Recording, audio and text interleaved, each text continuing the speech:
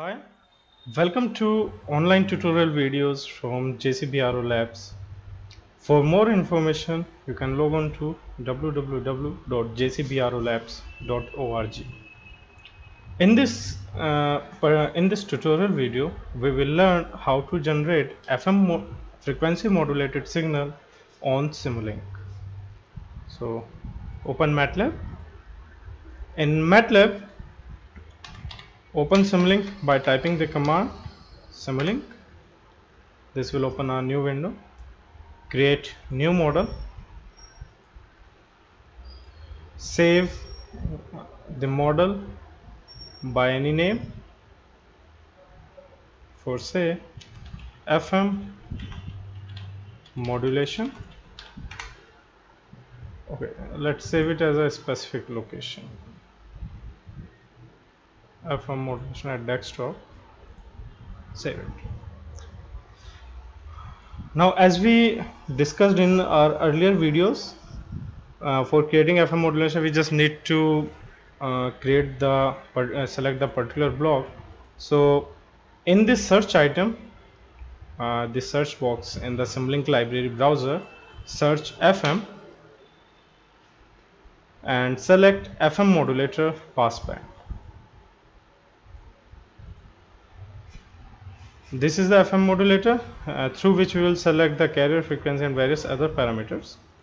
For modulating the sine wave, for simulating the sine wave, uh, for simulating the FM modulation, we need to select a source. So we will select a sine wave as a message source and we need to display the result. So we will select a scope from here. So we will simply interconnect the various uh, points of these blocks. Now it comes to the uh, uh, to uh, put the various to select the various properties of these blocks. Like for sine wave, amplitude is 1. We will select the frequency as 2 hertz and sample rate we will take for uh, good uh, resolution of the graph. We will take sample rate at 0.001 and then ok apply and then ok. Now we will change the properties of this fm modulator. We will select the carrier frequency as 10 and this frequency deviation needs to be greater than that of the uh, input message signal. So we will take uh, frequency deviation, deviation as 5 and then apply and then ok. Now run the simulation from this button.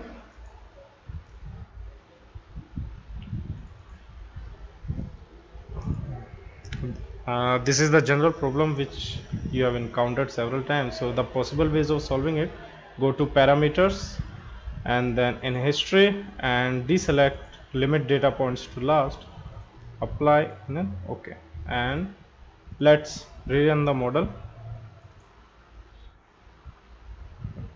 so this is our fm uh, generated wave using simulink for better uh, presentation we will we can also put the input message signal or we can also display the input message signal on the same plot. For displaying the same input message signal we need to select a multiplexer.